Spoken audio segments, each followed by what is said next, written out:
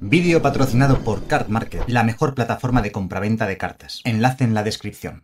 Bien, y bien, y bien, mis pequeños drugos, bienvenidos una vez más a Magic Block TK. Hoy os quería hablar de un pequeño problema que tenemos en Magic, sobre todo muy recientemente, y es la consecución irrefrenable de eh, colecciones nuevas para estándar que nos están llegando últimamente, y muchos lo habéis notado, y de hecho veo que mucha gente incluso está hasta perdida con qué colecciones están estándar, qué colecciones no, cuándo será la siguiente, cuál ha sido la última, o sea, el ritmo está siendo tan loco que es imposible ya descifrarlo. Bueno, estándar es un formato dentro de Magic, en el cual eh, solamente se puede jugar con las cartas más recientes. Ese sería un poco el resumen. De hecho, el formato se creó en noviembre de 1995 porque la gente en el 95 tenía dificultades para conseguir ya las cartas que habían salido un par de años antes, en el año 93, y dijeron, ya está, problema resuelto. Vamos a hacer un formato que vamos a llamar estándar, en el cual solamente se podrán jugar las cartas más recientes. Normalmente, resumiendo, serían las cartas de los dos últimos años, ¿de acuerdo? Serían las que son legales. Eso cambió recientemente, después de casi 30 años con un estándar de dos años, el año pasado, decidieron ampliarlo a tres años, de modo que más o menos son las colecciones de los tres últimos años las que están en estándar. Digo más o menos porque en verano, a final de verano, cada año hay una rotación y las más antiguas dejan de ser legales en estándar para hacer hueco a las siguientes. Esa sería un poco la idea. Actualmente en estándar tenemos... ¡Ey! ¿Qué pasa ahí? Es que estoy utilizando la wiki, la wiki de, Magic, ¿vale? Eh, bueno, el caso es que eh, actualmente en estándar tenemos todas estas colecciones. Y aquí lo que nos dicen es cuándo se va a producir su rotación. Cuándo van a dejar de ser legales en estándar dichas colecciones. Aquí pone Summer, verano de 2025 porque no se sabe fecha exacta. De hecho, este año también lo han cambiado.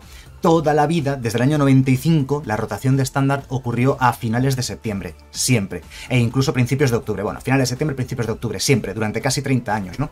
Durante 27 años. Em, a finales de septiembre, eh, principios de octubre, las últimas, las colecciones más antiguas que había en estándar dejaban de ser legales para dar paso a la nueva colección que salía a finales de verano, en septiembre, finales de septiembre más o menos, ¿vale? Eh, bueno, pues este año lo han cambiado y este año nos han metido una colección inesperada a finales de julio, que ha sido la que ha marcado la rotación, ¿vale? Que fue esta, fue Bloom Barrow. Bloom Barrow salió a finales de julio, principios de agosto, eh, porque, a ver, eh, Magic, en Magic no salen todas las colecciones a la vez, eh, porque hay diferentes plataformas. Tienes Magic Online, Magic Arena, el Magic físico real, digamos, el, de mesa, digamos. Entonces, no salen exactamente el mismo día. Finales de julio, principios de agosto salió Bloom Barrow, ¿vale? Que no es lo normal. Y fue cuando rotó Standard. Esta es la colección de que marcó la rotación, como digo, pues eso, a mitad de verano, que no es lo habitual. Así que bueno, un poquito extraño. Pero vamos, os comento. En verano de 2025, suponemos, eh, si siguen el mismo patrón de Bloom Barrow, será a finales de julio, principios de agosto, serán esa fecha. Estas cinco colecciones, normalmente eran tres las colecciones de estándar, ¿vale? Que salían. Luego lo ampliaron a cuatro ya cuatro son muchas, luego lo ampliaron a cinco, ¿vale? Bueno, no es realmente una colección, la marcha de las máquinas de Aftermath, las secuelas, realmente era como una mini expansión con unas pocas cartas nada más de marcha de las máquinas, pero salía un mes después y tenía cartas nuevas, un montón de cartas nuevas, entonces se podría considerar otra expansión adicional, aunque son cuatro más una que es la mitad, ¿no? 4,5 colecciones podríamos decir. Bueno, el verano que viene, eh, Dominaria eh, la Guerra de los Hermanos, Pirexia, Marcha de las Máquinas y sus secuelas dejarán de ser legales en estándar, ¿de acuerdo? Para dar paso pues, a la siguiente colección de la rotación, que pues será pues eso, otra colección que aún no conocemos. Luego en verano de 2026 saldrán fuera eh, las tierras del Drain, bueno, las tierras salvajes del Drain, mejor dicho, las cavernas de Ixalan, bueno, las cavernas perdidas de Ixalan, es que los nombres son más largos de las colecciones, asesinatos en la mansión Karlov, eh, forjidos de cruce de truenos.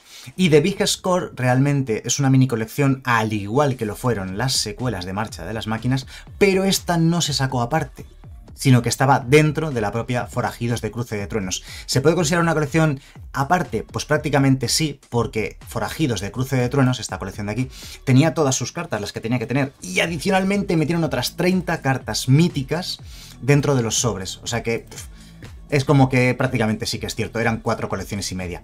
Bien, este verano, como os decía, salió Bloomburrow a mitad de verano, que marcó la rotación de estándar. Cuando sale Bloomburrow, las cuatro colecciones más antiguas dejaron de ser legales en estándar, y ahora, en eh, septiembre, o sea, si esto salió a finales de julio, principios de agosto, esta salió a finales de septiembre, un mes y medio después, prácticamente, eh, a finales de septiembre, eh, Dusk Mourn, la casa del horror, del terror, o como se llama en español, ¿vale? Y ahora, el 15 de noviembre sale Foundations, eh, en español Esta colección que va a ser la última colección de Magic, bueno, no, va a ser la última, va a ser la siguiente, que será la última que, de la cual conocemos el nombre oficial eh, hasta el momento, ¿no? Porque sabemos que luego en el primer trimestre del año que viene, de 2025, saldrá otra colección para estándar y además, de la cual además conocemos la temática, que va a ser Death Race, carrera de la muerte, o sea, carreras de coches de la muerte o algo de ese estilo. Eh, supuestamente, eh, bueno, ya veremos, porque es lo único que sabemos. Death Race hay un par de bocetos por ahí por internet, ya os hablé de ellos además en otro vídeo.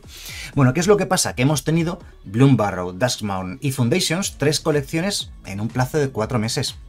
Tres colecciones completas, de casi 300 cartas cada una de ellas, en cuatro meses. Esto es algo inasumible, inaceptable y además que nadie puede seguir este ritmo y mucha gente está perdida, está agobiada, eh, dice dejo Magic porque yo no puedo seguir este ritmo, etcétera, etcétera, etcétera.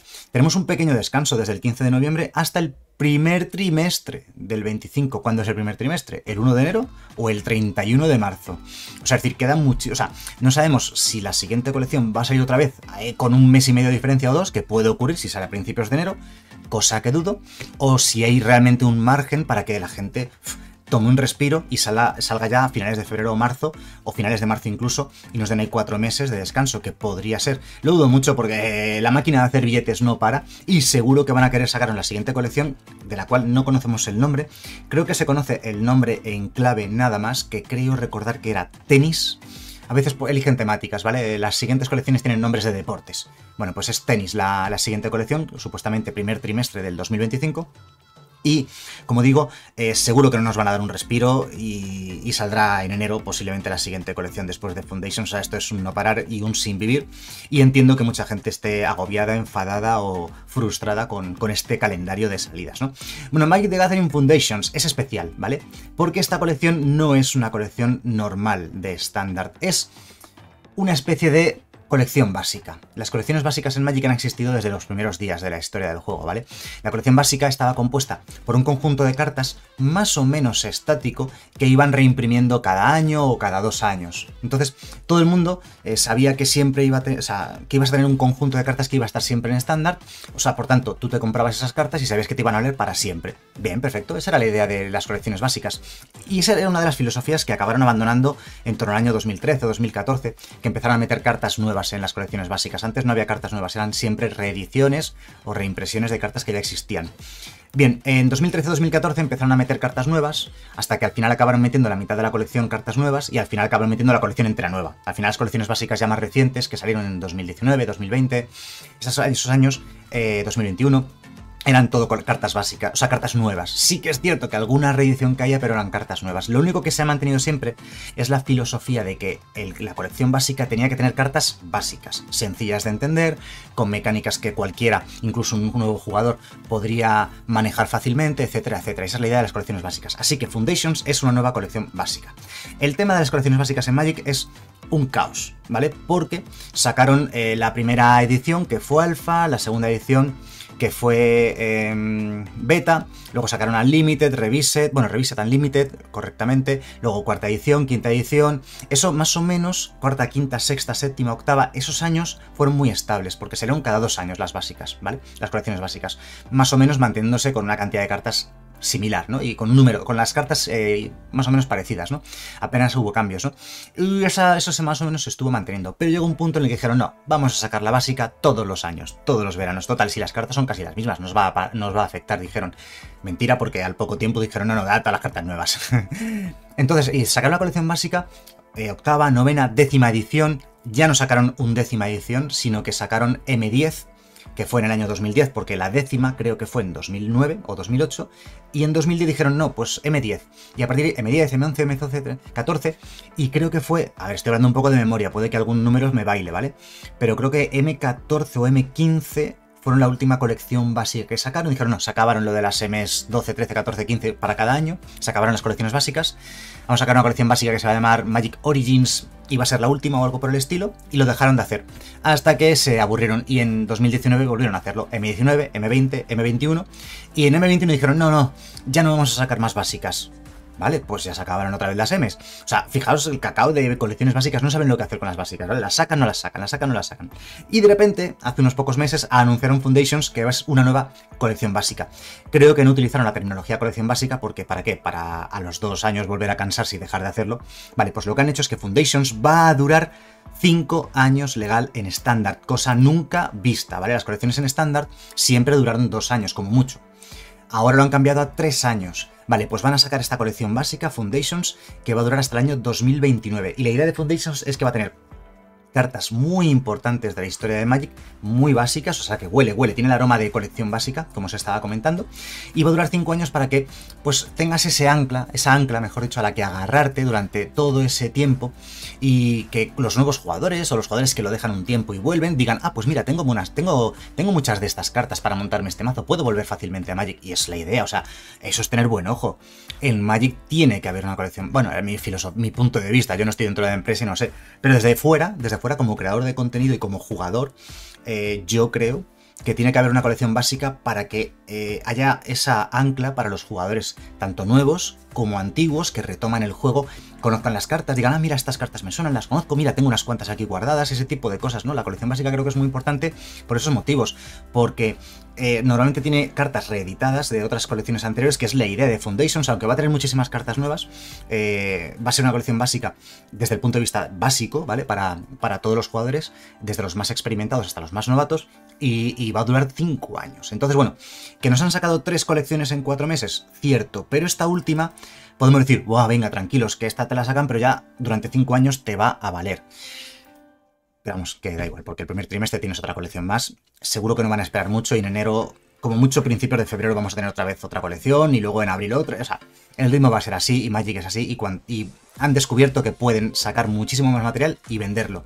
Han estado casi 30 años sin darse cuenta de esto, ¿vale? Han estado 20, 25 años sacando pues tres colecciones al año y ya está. Y prácticamente nada más que eso, ¿no? Y ahora sacan eh, cuatro o cinco colecciones para estándar cada año. Pensad que estas tres han salido solo en el verano prácticamente, ¿no? O sea, estamos hablando de eso, de agosto, septiembre, noviembre, prácticamente eh, final de verano, principio de otoño han sacado tres colecciones, tres para estándar, solo en esos cuatro meses. Se han dado cuenta de que pueden sacar mucho más producto y aún así seguir vendiéndolo. Y como digo, durante los 20 primeros años de Magic había tres colecciones al año, cuatro como mucho, en algunos casos excepcionales, como digo, y, se han dado cuenta de que pueden sacar 5 colecciones de estándar al año y además otros 200 productos más de todo tipo, ¿no? Y aún así siguen vendiendo, entonces lo van a seguir haciendo lógicamente porque es una empresa, las empresas quieren ganar dinero, cosa que os he explicado mil veces. Es una empresa, quiere ganar dinero, va a sacar todo el producto que pueda y va a ganar todo el dinero que pueda, mientras no destruya su juego.